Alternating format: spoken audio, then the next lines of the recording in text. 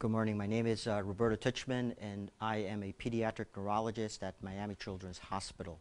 I am the chair of the uh, International League Against Epilepsy and Autism Speaks uh, task force looking at the problem of children with epilepsy and autism.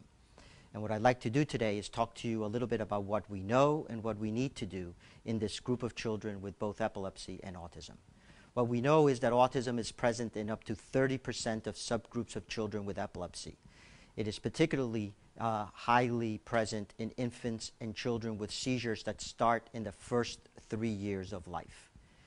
In addition, epilepsy occurs in approximately 8 to 20% of children with autism spectrum disorders. Epilepsy and autism both have multiple etiologies and variable clinical sy symptoms and outcomes, and as such, both are considered spectrum disorders.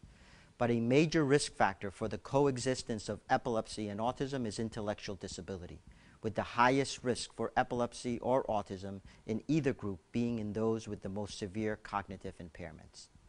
We know that there are two distinct peaks to seizure onset in children with autism, one occurring early prior to age three.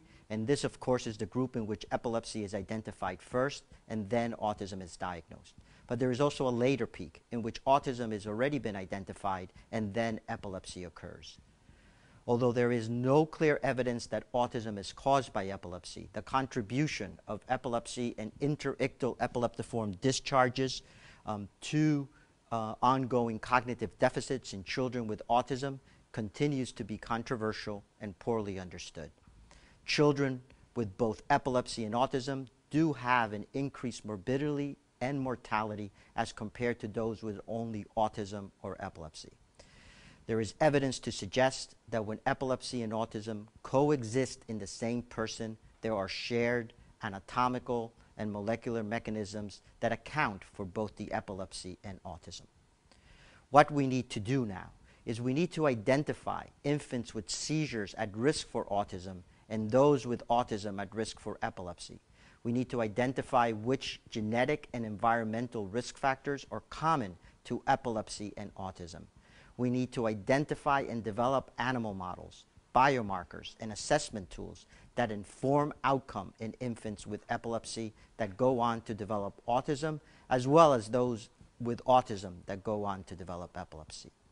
We need to look closely at the underlying mechanisms of convergence between autism and epilepsy.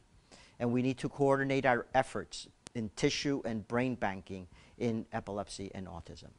And finally, we need to develop treatment models, both from a behavioral perspective and a pharmacological perspective, that um, inform us about appropriate treatments for infants and children with epilepsy and autism.